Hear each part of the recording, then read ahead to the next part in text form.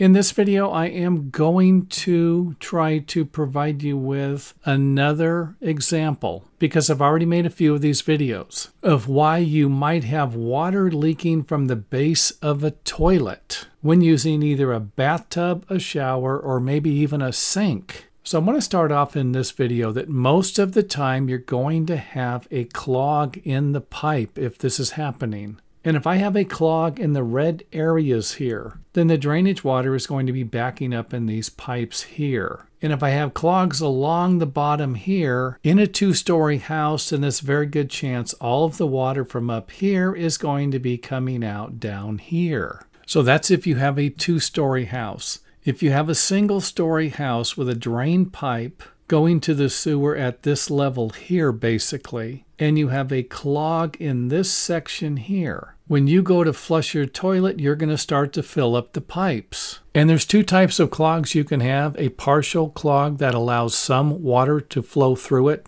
and a clogged pipe that doesn't allow any water to flow through it.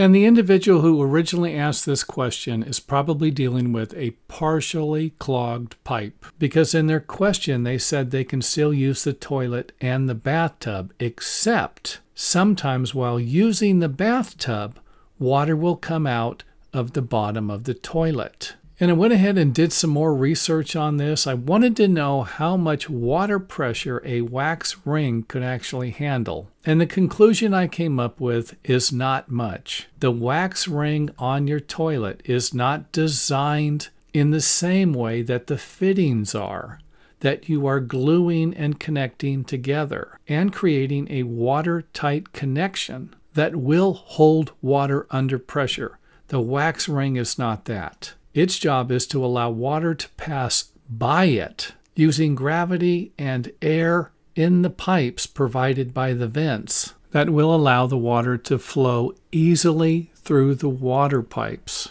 And the toilet flange connection is usually going to be a little lower than the bathtub connection and definitely lower than the sink connection. And if I created a two-dimensional drawing of the bathtub with the drain, with the trap, I got the vent here, clean out drainage pipe here, and then we have the sink connecting here with its trap, and then we have the toilet and its connecting point here, and then of course we have a vent for the toilet. And if we don't have any clogged pipes, then the water can flow freely through the pipes. And if filling up the bathtub or the sink does not create a water leak around the base of your toilet, then you could have a problem with your wax ring. However, if you do have a clog or a partial clog in the pipe and you use your sink or your toilet or your bathtub, you're going to be filling the pipe up with wastewater. And this can put pressure on the wax ring connection and cause water to leak out of the base of your toilet. And to fix something like this, you're going to have to get rid of the partial or clogged drain.